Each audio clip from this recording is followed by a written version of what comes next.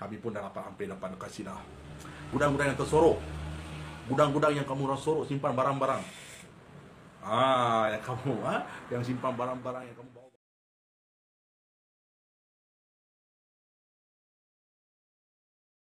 dikutip daripada negara mereka untuk jadi kuli di dalam negara ini untuk sektor-sektor tertentu sahaja.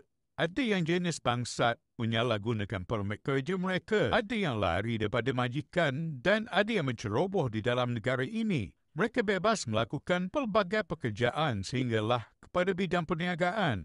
Semua ini disebabkan penguasaan pihak berkuasa kita yang terlalu lemah. Sebab itulah mereka ini sudah jadi besar kepala. Pak Kaduk naik junjung. Apabila rakyat kita mula bersuara, terutamanya Ustaz Sofian, puak-puak ini dah mula gelabah beruk. Dah mula rasa resah gelisah. Mereka sudah takut. Mereka tidak dapat cari makan di dalam negara ini lagi secara haram, terutamanya golongan parti haram. Sebab itulah mereka mula membuat serangan peribadi terhadap Ustaz Sofian untuk menutup mulut beliau. Contoh salah satu video adalah daripada TikTok musuh Vai ini yang galak menghina Melayu. Semakin banyak pula video untuk kutuk Melayu. Tetapi ada NGO yang tak duduk diam. Lalu video yang dikongsikan oleh Joseph Ter 813 ini, dia memaklumkan identiti Bangla yang hina Melayu ini hampir dapat didedahkan. Kita doakan mereka ini berjaya mengesan di mana Bangla biadab ini bersembunyi. Right, selamat petang, salam sejahtera, salam perpaduan, salam tiga bangsa bersatu, salam brotherhood. Okey, hari ini saya nak share sedikit berita kegembiraan di mana brothers-brothers kita, right, brother-brother kita dalam tim brotherhood, ha, telah memberikan sedikit information ataupun uh, apa, uh, information lah atau maklumat tentang individu yang mencabar negara kita, ha? Alright, siapa yang mencabar negara kita, siapa yang apa? Uh, siapa? Ah, biar tunjuk sikit. Ha? Right.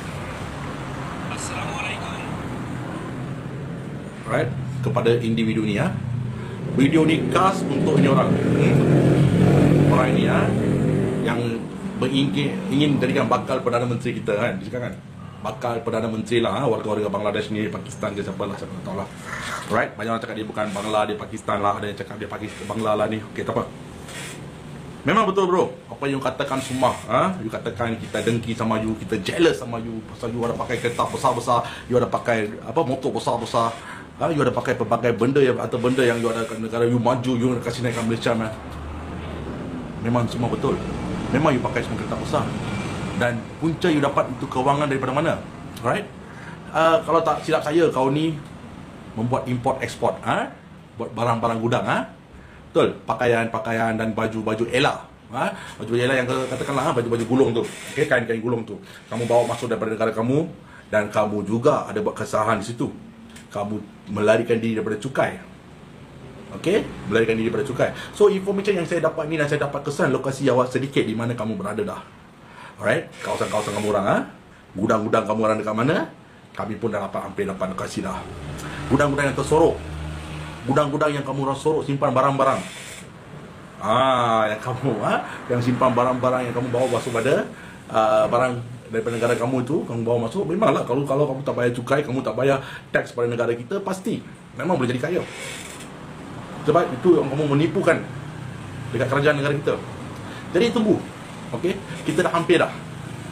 Hampir tiba masa kita nak bongkarkan segala gudang-gudang yang masih ha, buat apa kerja-kerja haram.